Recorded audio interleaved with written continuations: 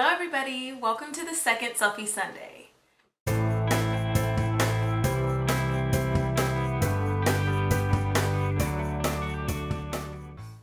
Today I'm going to be talking about to start or not to start my official business right now.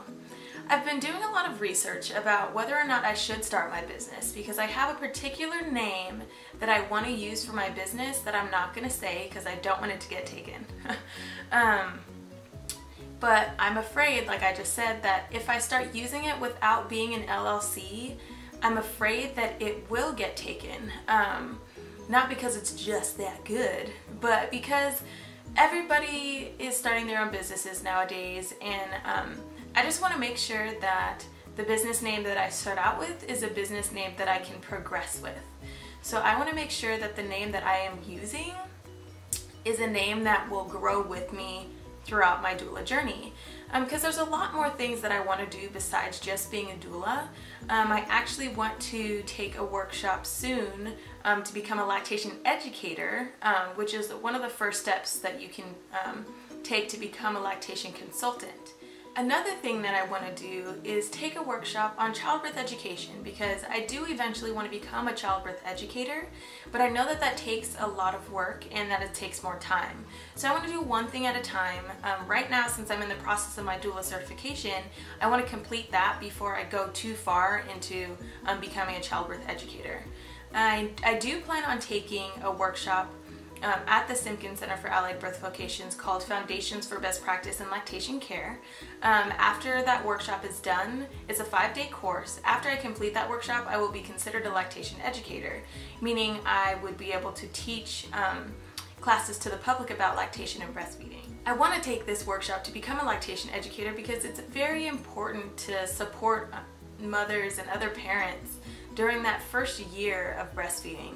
Um, it, especially in the African American communities and black communities because there's such a low rate of um, successful breastfeeding and I want to you know help and assist and educate while being able to refer them to a lactation consultant if they need any more clinical support. The reason why I'm struggling so much with deciding whether or not I should start my business now is because of the financial reasons. Um, I'm struggling to understand, based on the research that I've done, how to deal with the finances, like how to set money aside for taxes if I'm not an LLC.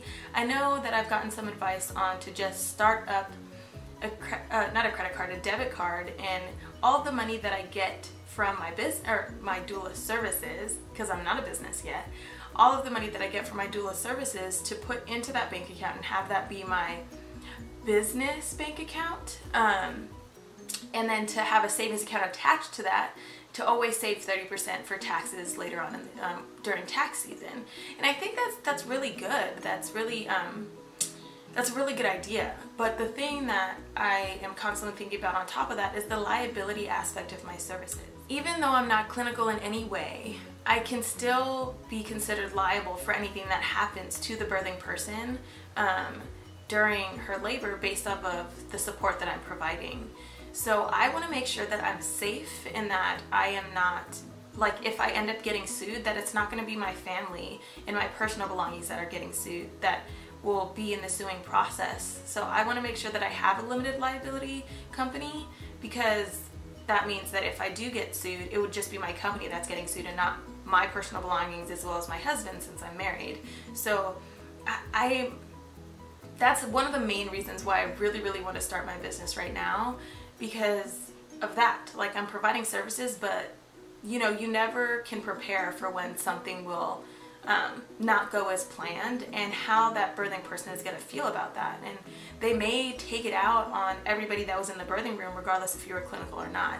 So that's something really important that I'm trying to take into consideration while debating on whether I should start my business. One of the other main reasons why I'm hesitant to start my business is because I'm currently working a full-time job. I want to keep the full-time job that I have. So I don't think, like I'm struggling to uh, figure out how to balance like opening up, opening up a micro business and having my full-time job because I know that opening up a micro business is a job in itself and you have to be in it 110%. Especially if you want your business to be successful and to succeed. You want to do all kinds of things and I've just um, I've been doing a lot of research on things to make it to where your business is successful like um, you know having a website for number one because especially with how techy and how much our society relies on technology now, a lot of people refer to the internet for their resources. And so you want to make sure that you have a website, but not just any website, it has to be a good website. And you also want to have business cards and uh, an email address dedicated to your business and things of that nature, you know, like even some people even have phones that are particular for their business. I want to put myself out there, but I don't want to be getting too many clients um, outside of the time that I can actually assist them. Like I don't want to be turning clients away. And I know that there are ways for me to make it obvious of like when my schedule is available and when it's not, but it's a little bit tricky because where I work, we have particular workshops that are set, but they can sometimes change. And um, they're, they happen multiple times a month, so I, I have to be there for those workshops, but I also would have to be there for a client that's going into labor. I'm struggling with that aspect, you know, working full time while also having my own business. And I know that I don't necessarily have to open my business right now and that um, I can just start marketing uh, my services as like Nessenbaum doula services just to like base it off of my name. And that's something that I've considered, but I'm also just worried in general about how to go away from that when I want to actually start my official business. I don't really know what next step to take. I'm trying to do a lot of research and read books and take webinars and things like that, but it's a little, it's, it's actually kind of overwhelming, especially while working a full-time job because I have all of these roles that I have to um, play a part in, like, you know, being a mother, being a wife, being a full-time worker, being a sibling, being a family member, and also being the doula that I, I need to be in order to support my clients properly. So I, I don't want to get overwhelmed, but I also want to take the next step. You know? If you guys have any advice, please comment down below in the comment box. Either whether you're watching this from Facebook, go ahead and comment on the video from there. I just I just need a little bit of advice. And you want if you want to message me personally, you can do that as well. I guess my biggest question would be, how would I um, organize and manage my finances without actually being in a business, as well as how would I protect myself with liability outside of being in a business, like outside of having my own limited liability company.